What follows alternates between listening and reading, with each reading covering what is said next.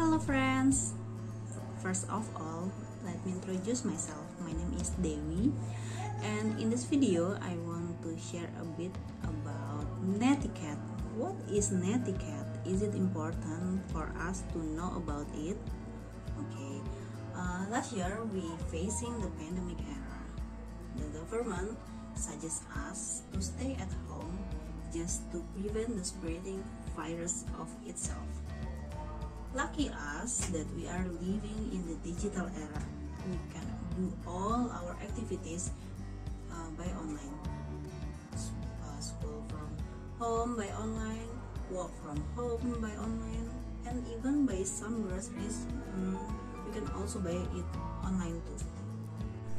At the beginning, I found out that um, it's not easy to do the online class because I'm still not used to with it. But I feel I have to open my mind to get focused with my education, though I do it online, because uh, I realize that so many people uh, out there that still fight for their education too, even they they live the harder life than me. I have so many competitors in this world, but first I need to fight with myself I have to work harder, I have to study harder and earn some achievement even in this um, hard situation. Not for anybody but for my own self. Study online um, can be difficult but it's still definitely achievable.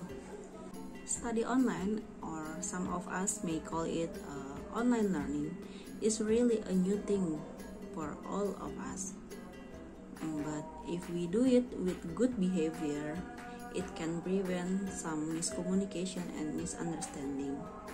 It also can help us to enhance our learning experience. Talking about good behavior while do the online learning we will talk about good behavior in uh, internet. So we will talk about the netiquette I classified this netiquette into two parts. The first one is classroom reminders and the second one is the online etiquette.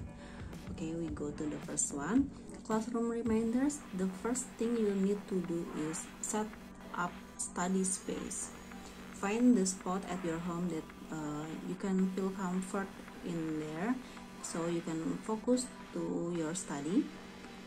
Uh, don't forget to less lessen the distraction such as television.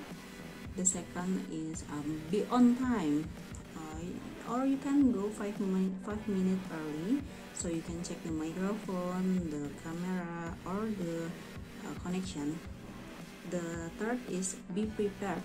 Put all the materials or the things you need uh, close to you so uh, whenever you need it you can reach it uh, easily.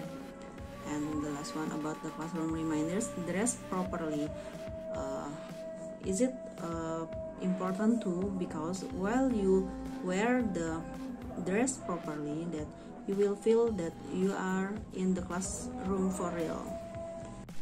The next one is about online etiquette Online etiquette uh, divided into three parts. The first one is be fully present.